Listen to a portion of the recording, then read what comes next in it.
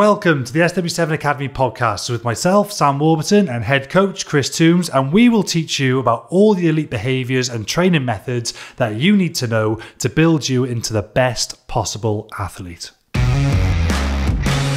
Just a quick word about our sponsors, Tramshed Tech. Tramshed Tech is a collaborative community where startups scale up, a platform for growth supporting the tech, digital, and creative industries. Like SW7, it's a community made up of high performers where having a growth mindset is key. Tramshed Tech can help you on your journey whether your business needs space to work, skills training, or business support services. Their award winning Startup Academy is open for registration for pre start or early stage businesses. Tramshed Tech are currently expanding to new locations in Wales, including Cardiff, Newport, Barry, and Swansea. So if you're an entrepreneur looking for space to work, business support, or skills training, head to tramshedtech.co.uk or at tramshedtech on social media to find out more. Okay, so rest and recovery. So this is arguably as important as training, and it sounds a bit counterintuitive because you're not doing anything, but actually rest is so important. Is rest and recovery or a lack of one of the biggest mistakes that you see, particularly in younger trainers? Massive. I think it goes back to when we first met, and I think you'd done 30 out of 31 days of training before you came into the Blues Academy. That? I actually thinking, got that written down. Have you? Yeah. I, thinking got, more is better. Yeah. I, I went. It was a Christmas off. Yeah.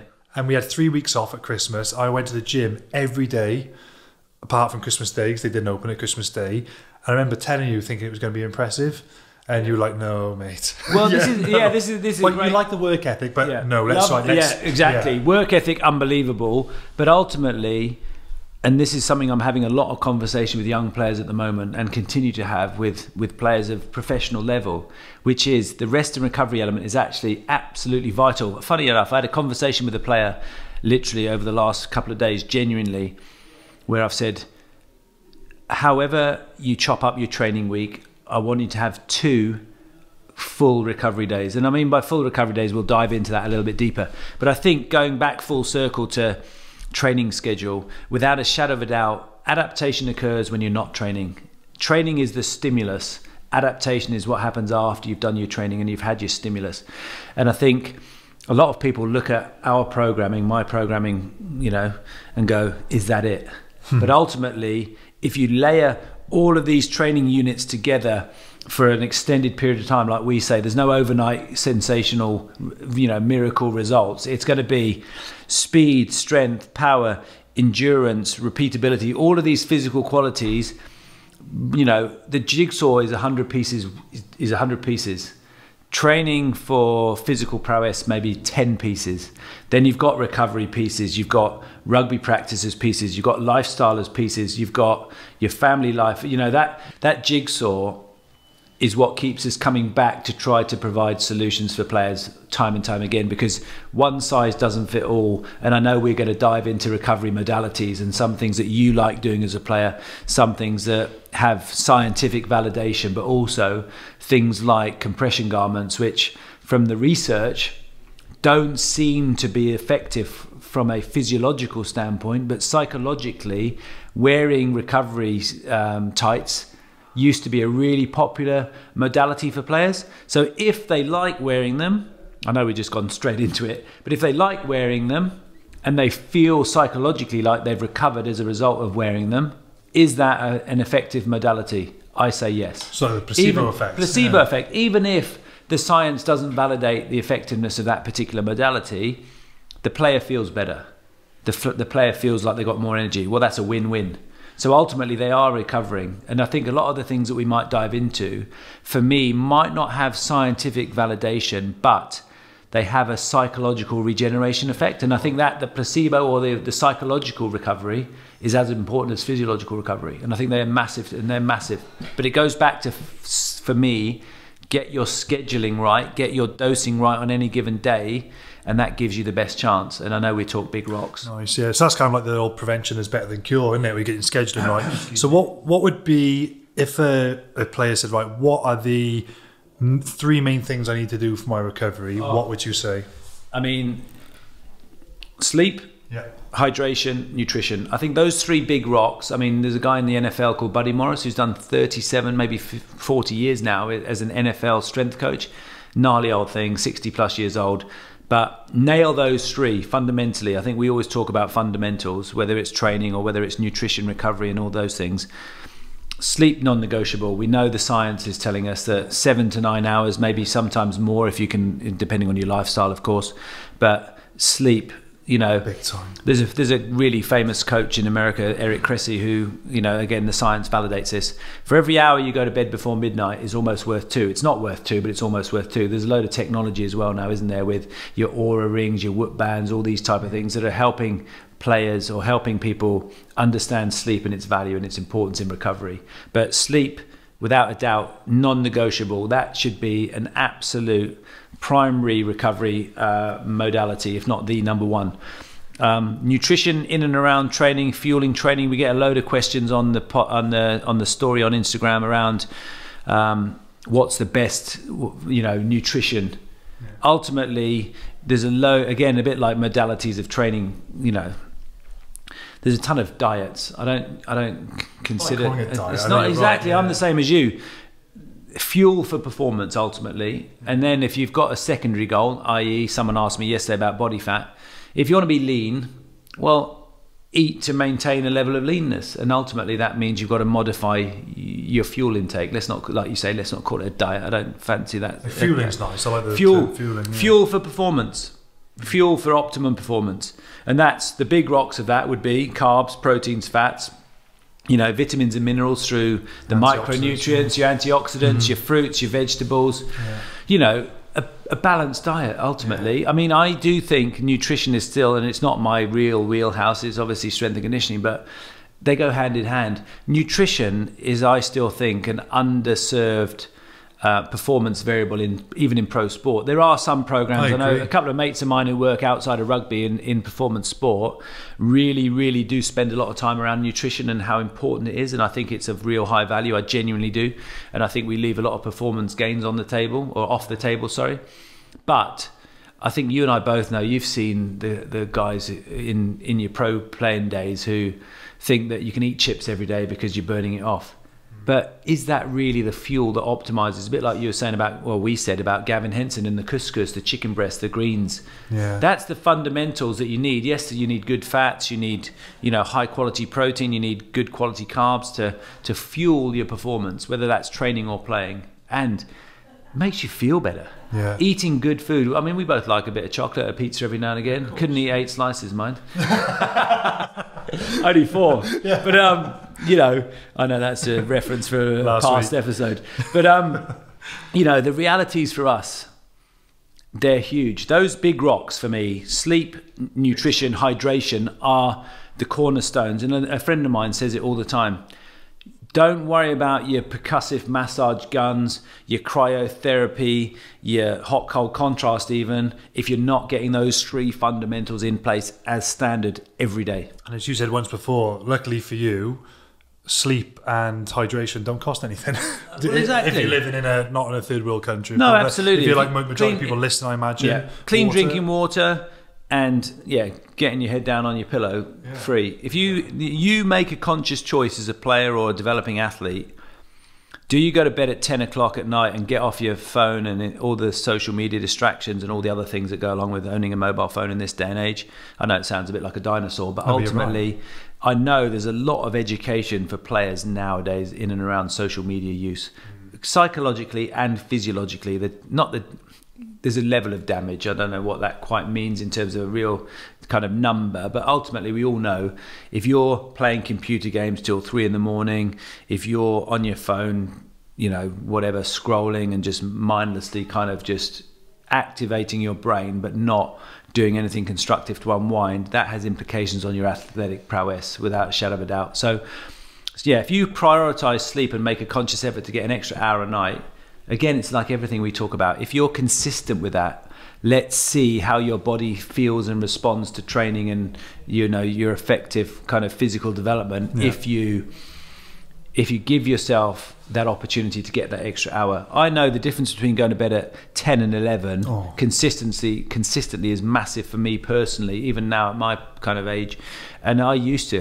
in the in the blues days I used to go to bed at 9 o'clock at night Really? and feel great. But I was also up at five, six o'clock in the morning every day. Mm. So ultimately, you've got to, and now we've, you know, you and I both parents. You've got kids that, you know, don't necessarily give you the luxury of, you know, a full night's sleep very rarely these days. I but know. the reality is, that's the conversation that players have to have with themselves as well. If you've got a young family, you know there's going to be sleep issues and sleep disturbance. So what do you do? Be selfish you've got to four nights a week. You've, yeah. But you've also got to cover all these bases, haven't you? Where okay, I know my sleep's going to be impacted upon, so I need then to make sure my nutrition and my hydration are bang on, and some of the other potential uh, modalities as well, which we'll dive into. So you're, you're saying things there because you know I'm, I'm thinking of so many examples. I, when I was playing, I remember like I say to my wife when we had a, a newborn, which I found really difficult um, as a professional player having a newborn. I'm like, right, four nights of the week, I'm going to be selfish and I have to sleep. Tuesday is a big day, Thursday is a big day, Saturday is a big day, and actually Saturday night, from a recovery perspective.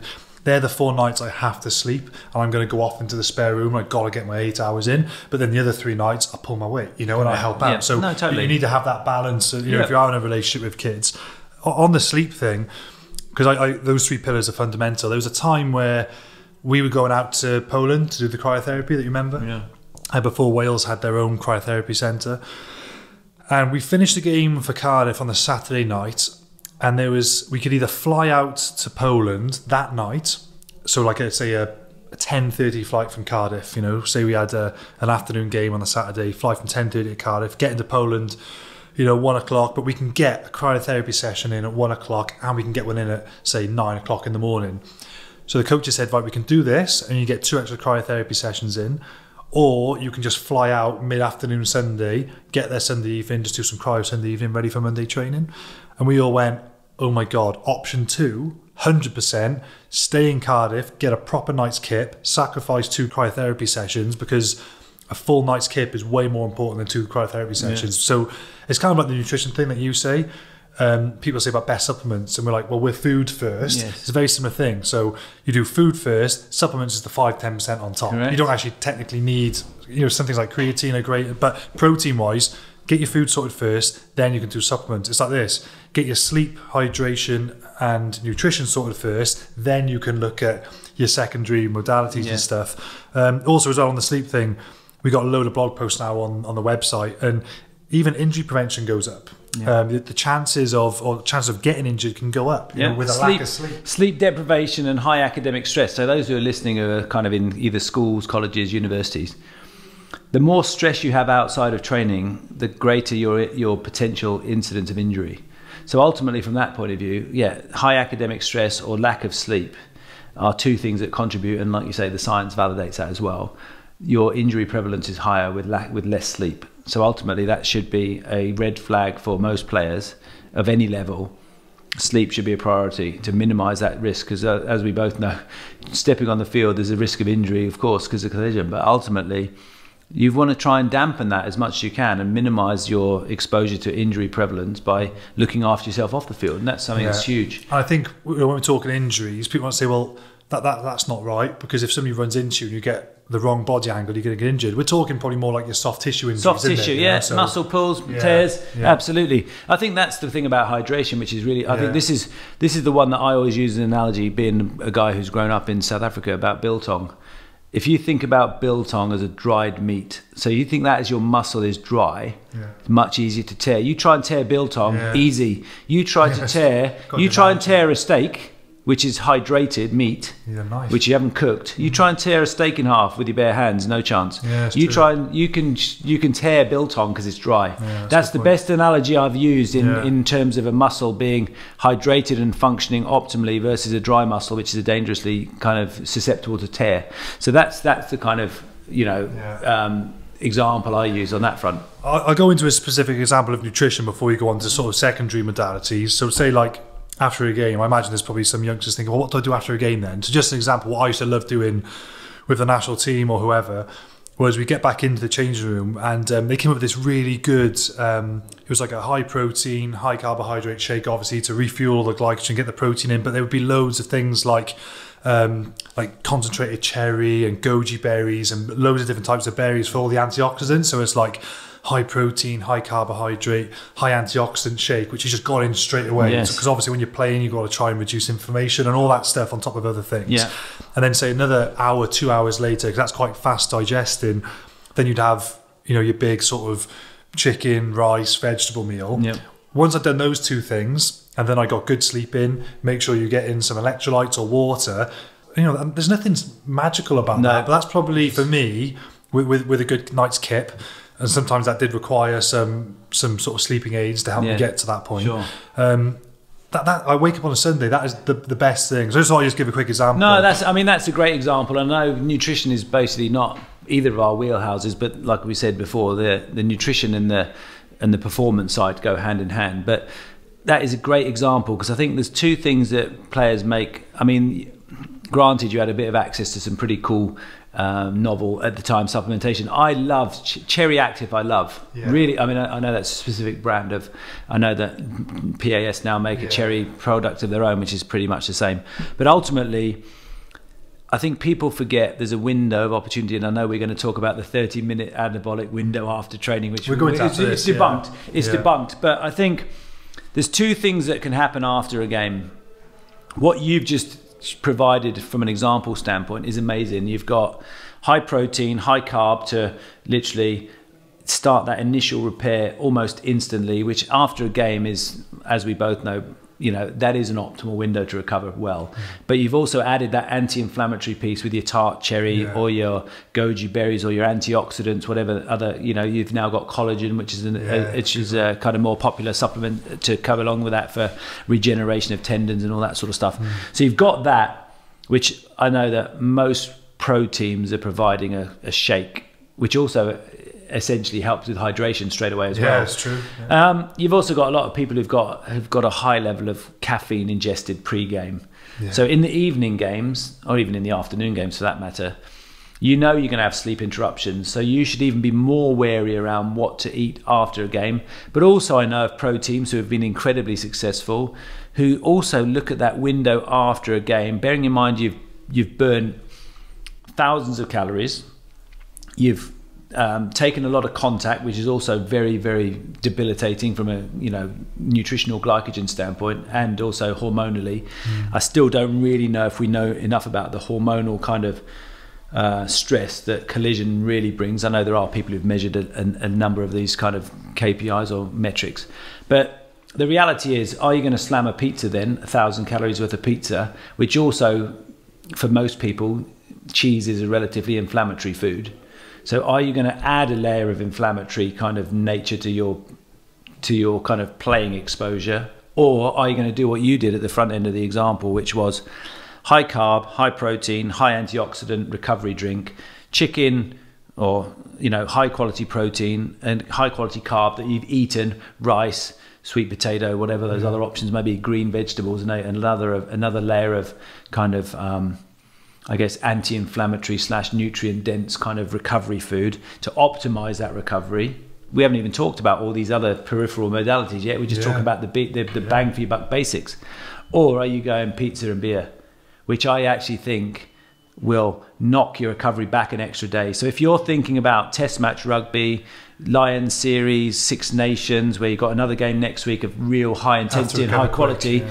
you've got to again it goes back to these elite behaviors that we always reference. Are you wanting to pro- to provide yourself the best opportunity to perform well again next week or are you leaving something on the table which is going to be I'm going to now need if I live the pizza and beer life and don't tell me we're not saints here everyone never know again has a beer. But ultimately are you are you refeeding effectively or are you just asking your body to take an extra day to recover or an extra day and a half because you don't you know look at the nutritional quality that has implications positively on your next performance your next training session you know on a monday you're going to be good for nothing anyway Yeah. so why are you not trying to accelerate that development or sorry accelerate that recovery Yeah. so that you're ready to perform optimally in seven days' time. Yeah, exactly. I mean, that's the mentality of the high level player, though, isn't it? That's the difference. So that, that I think yeah the basics I think we've nailed down and that's what everyone has to be doing point blank. You, you, if you're not doing those three things, don't worry about anything else.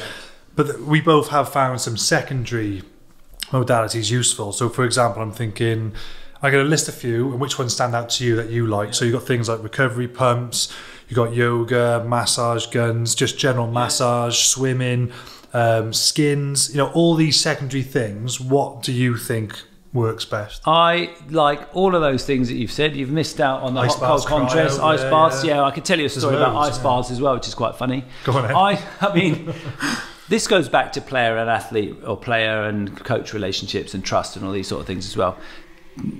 Just as a kind of the, the front load this, you've just listed five or six modalities. I always think as a coach, nothing should be mandatory.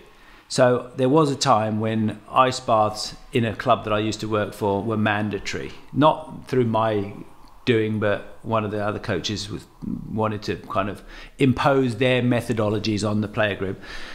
A coach and a player nearly got into a fight because they were trying. The, the coach was trying to get a very high-profile player into the ice bath, and he- the the player didn't value the quality of an ice bath as a recovery modality. So all of those things have a place within a training program. There's times pla and there's times in the training week or training calendar where all of those modalities would be great. I love personally, not just for me but for players, um, anyone who takes ownership of their own recovery and makes choices. You used to like cryotherapy. The science does validate cryotherapy. For, it used to. There was challenges at some point in time whereby uh, practitioners thought that cryotherapy actually blunted the adaptation because they Yeah. speeded up recovery process through that metabolic. Uh, So like you want that inflammation you're saying your body in the pre-season, I would say don't use cryotherapy because you need that inflammation and that helps drive the adaptation that you're trying to create. Would this be the same for ice baths as well? Yes, So so, same- but yeah. but there's time and a place to apply these these modalities. So it's 40 degrees. I know we don't really get 40 degrees in the UK very much, but ice also, well, the, the, the, uh, back in time, ice reduces inflammation.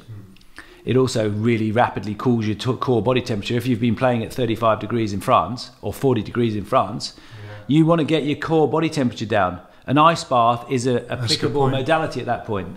So you've you always weigh as a practitioner, you're always weighing up the application with the context. Skins, we talked about that at the beginning. They don't. The science doesn't validate their usefulness. So you see a lot of people using them say on planes, don't you? Yeah, like, exactly. Heavier weights that travels If you've got medical grade compression and you've got really tight ones, they can work. Your commercial, don't want to name any names, but you know, Yeah. Skins is a brand. Skins, Canterbury make them. Whoever makes they, there's not enough compression to add a layer of recovery that you're after. But the player feels good in them. Hmm. If the player feels good in them, there's. Yeah. a placebo. They're going to work because mentally a player feels good. Mentally, a player feels like they're doing everything to recover from either flying or post match. So you've got that placebo. You've got that. I always, I always used to think skins were of value. Other people would challenge that, and obviously science at times does challenge that as well. Um, the hot cold contrast I loved. Mm. Uh, Craig White, you know, famous Lions S and C coach, went on for three or four Lions tours, maybe two or three. Loves it. You know, they, you know, the massage, the active recovery. I love the fact that you've got a dog is amazing. The fact that you love taking your dog for a walk, mentally. Depending on whether you've got your phone out and you're doing your Instagram story, which does happen at times. Sometimes. Well, no, you're just trying to busy. you're trying to do Yeah. two things at once, which is absolutely fine. But act, I really, I really thought for players, active recovery was great. Doing nothing. So you've played and you've refueled on the Saturday. Doing nothing on a Sunday, lying on the couch, is actually counterintuitive because I think active recovery helps you start that or accelerate, sorry, that recovery process to the point where you get back to baseline quicker because movement is is a valuable element of recovery. Blood time. flow, you know, your hips are going to just open up. Even even if you're moving kind of gingerly and sheepishly, you're going to mo- moving is important. So I always used to value whether it was on the bike, walking the dog, walking a dog in the in the in the countryside. absolute win for ticking off the psychological and physiological benefits of active recovery. Brilliant. Swimming, depending on your shoulders and how and how much movement you had in them after a game. Brilliant. I mean, I like I like pool recovery.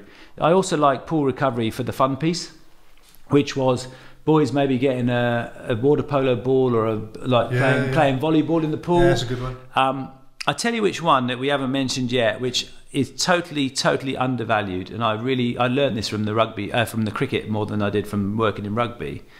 Fun and laughter. Yeah. I promise you, I promise you, there's two things that I thought were unbelievable when boys were like showing signs of more mental fatigue than anything else. Especially cricket, where you're playing week in, Yeah, week out, day in, day out. It's relentless, and you're on buses and this, that, and the other. Comedy clubs, Yeah. you go to a comedy club and laugh hard for two hours.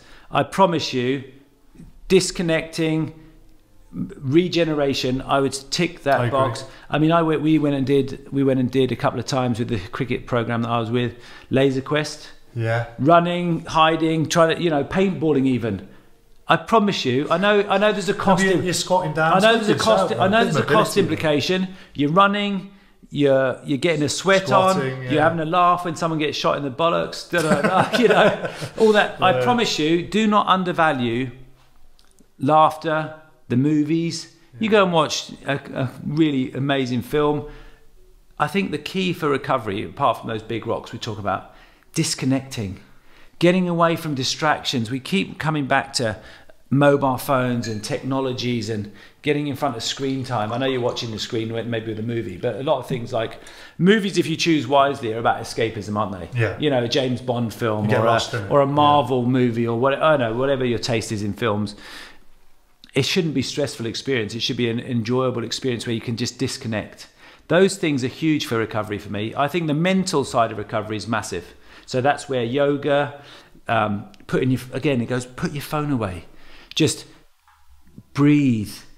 You know, get a warm muscle that moves in an extended range and a challenging range for some rugby players because we both know some of them are super tight in various areas for lots of different reasons. The thing we've talked before about props who are tight because if they're not tight, the spine's going to bloom and explode. Yeah. But um, I think you hit the nail on the head really with the big rocks are crucial. But I think, like I say, I can't speak highly enough for active recovery. I really like hot cold contrast. I really love yoga and mobility type stuff.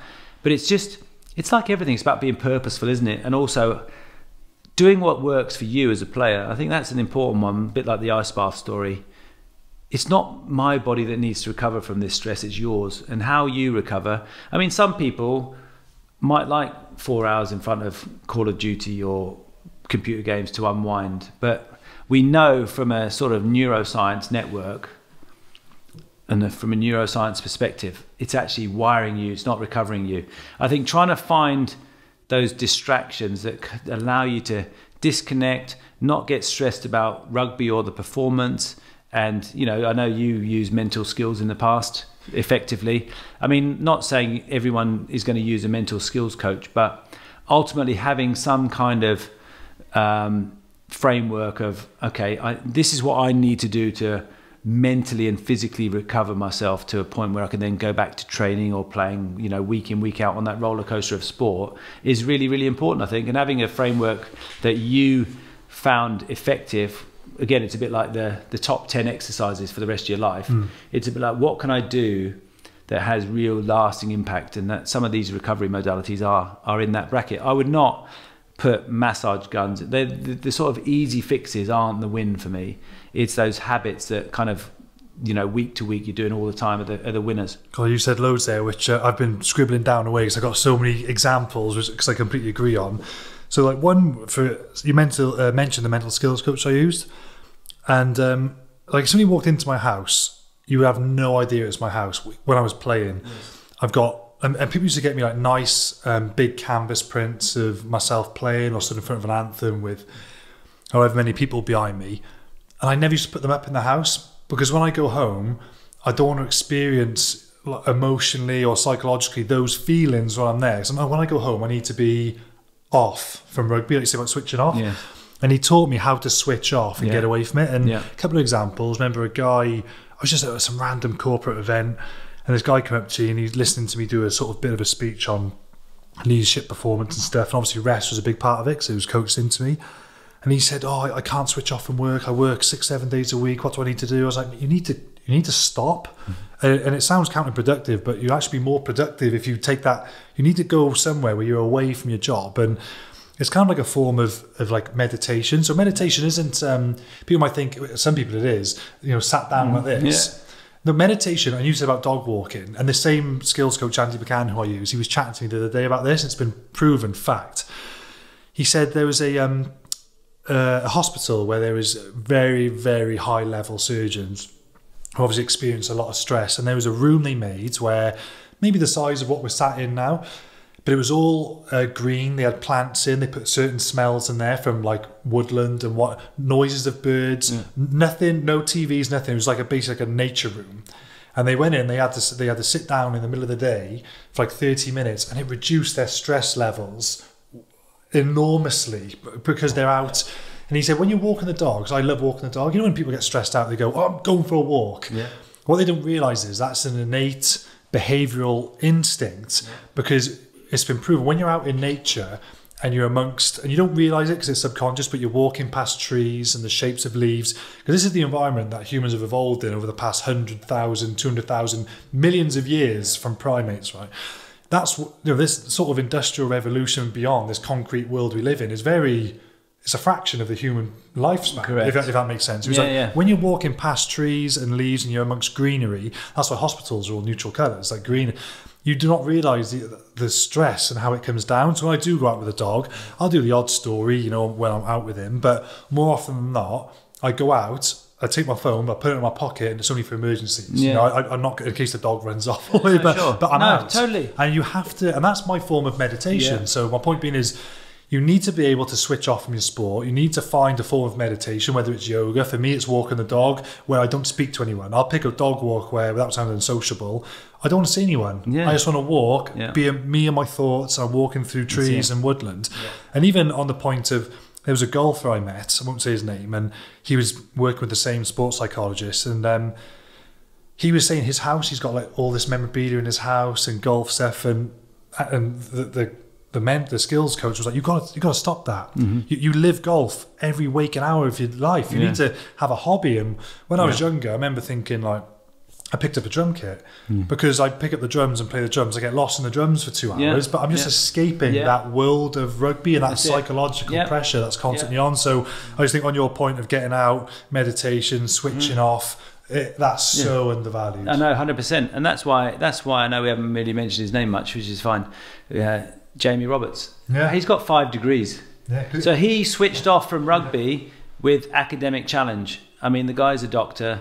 He's got an MPhil. He's got an MSc. He's got something else. He's got something else. I mean, I admire that because you're not just, and I, I mean, most of the people living or listening to this won't be professional level players. They might be aspiring to be that, but ultimately, it's having something as a distraction away from your day job that is high pressured. It is in the public eye. There is high levels of expectancy, but something like maybe, maybe for someone like Jamie and others who've got you know degrees and higher honors and all that sort of stuff academically, they needed that to stimulate them away from rugby, and also just as a as a distraction. And anything like you say, walking Ledley in the in the woods, like you say, I can't reinforce enough the same sort of thing from a scientific validation standpoint. Yeah. Mountains, the sea, rivers, sea, yeah. they are, you know, um, Ceri Sweeney, another young, Yeah. a decent player, played for a long time, 40 odd test caps, fishing. Fish- Loves going fishing. fishing. Yeah. On his day off, go fishing for the day. Yeah. How cool! I mean, I've been fortunate enough to go. I don't fish on the river. I went like when I was a boy. I went, you know, shark fishing out in South Africa. What a way to spend your time! I, do, I will tell you that we caught the sharks. We threw them back. Yeah. But um, but ulti- amazing how to distract yourself away from everyday life and rec- and that that is an element of recovery. Being fresh to come back to training, being fresh to be prepared to play at the, at the next weekend. I think the biggest challenge young players have at the moment is all these distractions and not necessarily channeling their on and off button. I think learning, to, like you've suggested, time. switching on and off and not being all rugby is absolutely vital for either players playing at the highest level or players aspiring to play at the highest level. Hobbies are absolutely crucial. So to finish off as well, this is probably the most um, contra- well, it's not controversial anymore. It's been it's been dispelled. But I'm gonna ask you a question because I think a lot of youngsters think they do this, and I was this guy um, when I was younger as well. Do you have to have a shake within 30 minutes? This anabolic window after a gym session. Uh, in a word, no. I think the challenge, the challenge you have, and it's a bit like we've had this conversation around creatine and this loading dose of 20 grams. Marketing, I think sports sports nutrition marketing going back probably a generation was all about selling protein and selling creatine. And ultimately it was, oh yeah, you've got to load with 20 grams of protein for optimal. No, we've dispelled that in the creatine type supplementation element. And we know now that total calories so i know you you talk about maintenance doses or maintenance calories gain weight or or kind of lose weight or lose fat whatever it might be total calories in a day and fueling in a in, a- in a 24 hour cycle. You'd, if we go to the gym straight after this and do an hour's strength training and then don't eat for an hour and a half the the muscle ain't going to drop off you. And this is this is the funny thing that people think oh the, the anabolic window and the gain my gains my my gains, gains. my gains. Ultimately we we want a great balance of proteins, carbs, and fats every day, and eat nutrient throughout dense the day, food yeah. throughout the day. If you don't eat for an hour after training, if you weigh 90 kilos now, you're not going to weigh 85 in, in, in an hour and a half's time, are you? Yeah. Uh, ultimately, massive, massive myth. Massive myth. I, I was that guy. I used to drive around with a protein tub in the car, and I'd finish a session. I'd have to get a shake in. I think oh, it's a waste of a session, but as long as your your intake or like you say your, your diet is sufficient throughout the whole day, it, it doesn't make a difference. But I just thought. There's probably a few teenagers listening, racing to get their protein. And I was that guy. Yeah. I was a professional I- athlete. oh. I remember pro coaches even shouting, "Don't miss your window, lads! Get your shakes in." Yeah. And at the time, yeah, yeah, yeah, get our shakes in really quick. And it's sort of been dispelled in the last sort of few years, really. So Absolutely. it's, it's don't don't feel like you know you've been an idiot. A lot of us believed it, but Season two, mate. Season two of our pod. We're definitely going to have some, you know, guests, not just you and me talking shop about performance and elite behaviors and all the other things that wrap around that. We're going to have players' perspective. We're going to have nutritionists. We're going to have other performance coaches who are going to share their insights as well. Because I think actually this episode particularly is really really important for what you do. And fergus connolly who worked at the welsh rugby union now went off to work in other sports in america. He was brilliant about what you do in the other 20 to 22 hours. So ultimately even with a, a, a double day of one hour's weights and one hour's worth of rugby say you've still got another 22 hours. That's kind of what we've covered here. You can derail your, your kind of progress by living a lifestyle that's not optimal. And i think getting getting your nutritionist on getting uh, you know the sports psychologist on to be honest with you giving our listening group a load of people who've got a different perspective on performance will be absolutely absolutely real high value yeah, nice. No, nice one, Toomsy. Yeah, rest and recovery, very important. yeah exactly right